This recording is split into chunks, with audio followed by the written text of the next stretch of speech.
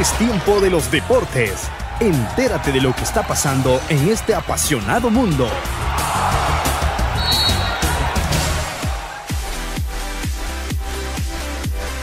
La selección de Honduras se mantuvo en la posición 86 del ranking FIFA, publicado este jueves en el sitio web oficial de este ente rector del fútbol. En dicha clasificación, Argentina se mantiene al frente de la clasificación mundial de la FIFA por delante de Bélgica, mientras que Colombia se sitúa tercera, Chile baja al quinto puesto y España continúa sexta.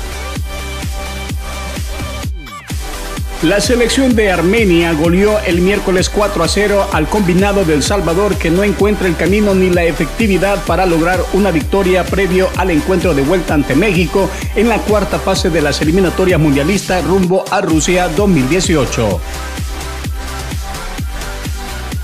El secretario técnico del Barcelona, Robert Fernández, ha confirmado que el lateral brasileño David Alves ha comunicado su intención de dejar el club azulgrana este verano.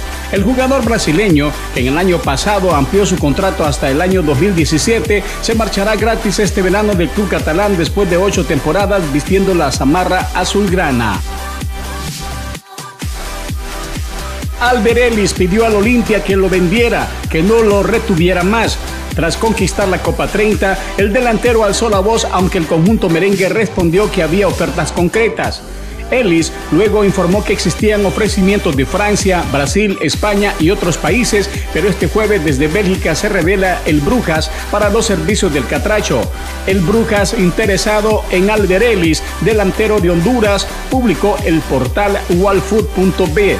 De acuerdo a este sitio, el Brujas, actual campeón de Bélgica, quiere reforzarse para la Liga de Campeones de Europa, a la que clasificó como rey del balompié de ese país.